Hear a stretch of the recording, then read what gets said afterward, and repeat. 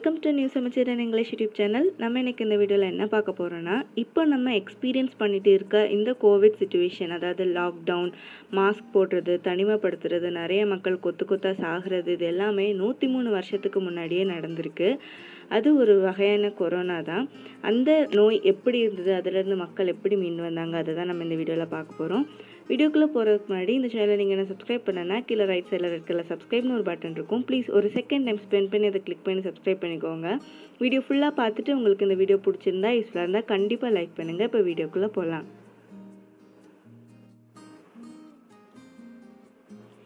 இப்போ நீங்கள் பார்த்துட்டு இருக்க இமேஜஸ் எல்லாருமே மக்கள் எல்லாரும் மாஸ்க் போட்டுட்டு அவங்க முகத்தை ஏதாவது ஒரு பேக்கை வச்சோ இல்லை நெட்டை வச்சோ கவர் பண்ணிட்டு இருக்கிற மாதிரி நீங்கள் இமேஜஸ் பார்த்துருப்பீங்க.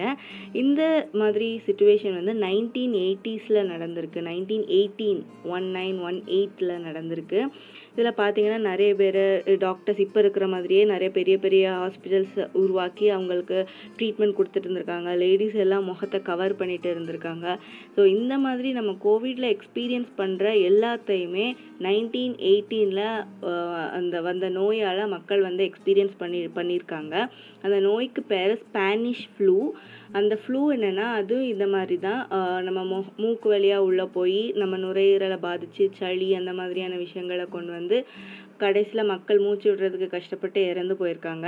ஸோ அது ம அதுலேருந்து தங்களை பாதுகாத்துக்கிறதுக்காக மக்கள் வந்து முகத்தில் மாஸ்க் போடுறது அப்புறம் தனிமைப்படுத்துறது. இப்போ இந்த பப்ளிக் நோட்டீஸ் பார்த்தீங்கன்னா ஸ்கூல் ஸ்மால் தேட்டர்ஸ் எல்லாமே க்ளோஸ் பண்ணுறதுக்காக அப்போ இருந்த மேயர் சுதர்லாண்ட் அப்படிங்கிறவங்க கொடுத்த நோட்டீஸ் இதெல்லாம் தான் நீங்கள் பார்க்குறீங்க ஸோ இந்த மாதிரி சுச்சுவேஷன் நைன்டீன் எயிட்டீன்லேயும் நடந்திருக்கு.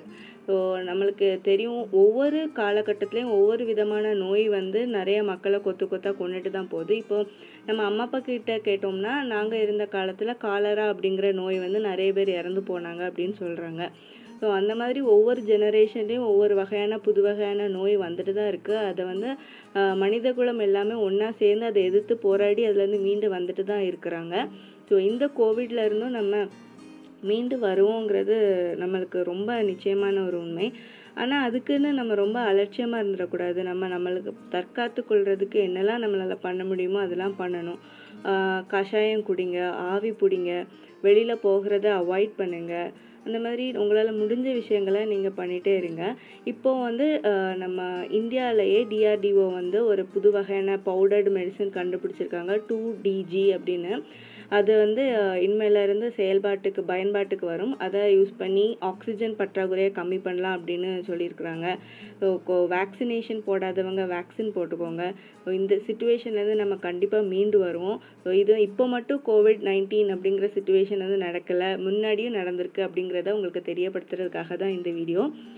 இந்த வீடியோ உங்களுக்கு பிடிச்சிருந்தா லைக் பண்ணுங்கள் ஷேர் பண்ணுங்கள் மறக்காமல் சப்ஸ்கிரைப் பண்ணுங்கள் தேங்க்யூ